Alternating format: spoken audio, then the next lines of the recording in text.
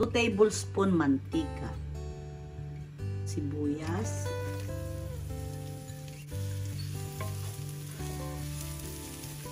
Ang sa lumambot ang sibuyas.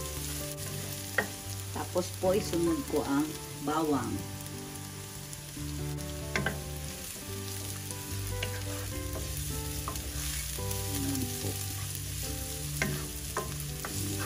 Ayan ang apoy.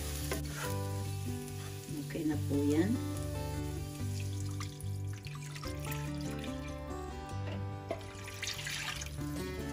Kuluin lang po natin. Ito po ang squid ball. Kalagay siya dito.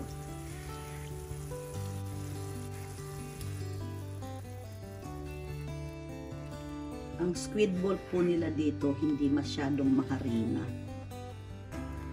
Lahat ko na po. 1 and a half tablespoon patis.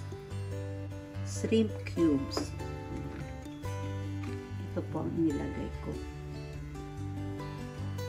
Haluin po natin ang dahan-dahan. 1 half teaspoon white pepper. Haluin ko lang. Kumukulo na po. Dalawang patola po ang ilalagay ko. Binabad ko po yan sa tubig pero maitim. Bakit po? Hayaan ko pong maluto muna ito bago ko ilalagay ang miswa. Tikman ko lang po. Kulang po ang alat.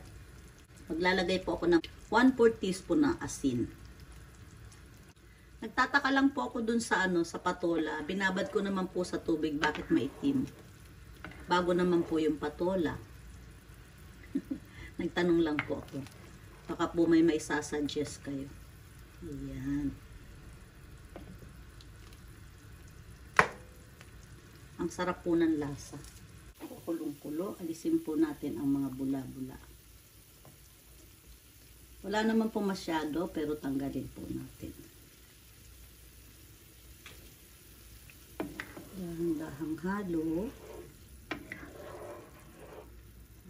Po. Saka ko po ilalagay ang miswa. Ilagay ko po 100 gram na miswa.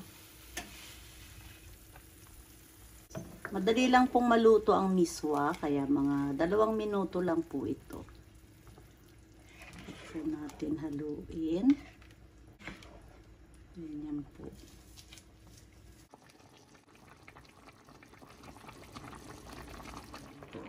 Haluin po natin ng konti. Ayan, okay na po ito. Maglalagay lang po ako ng dahon ng sibuyas o kinchay. Ito po kinchay po ang gamit ko. Ayan. Halo lang po. Turn off ko na po ang kalan. Ayan. Okay na po ito. Papaganda lang po ng kulay. Nilagyan ko lang ng sili. Itadakimasu.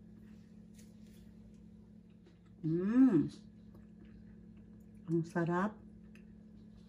Ang lambot po ng squid ball. Tikman natin to. Tamang-tama po ang timpla. Napakasarap.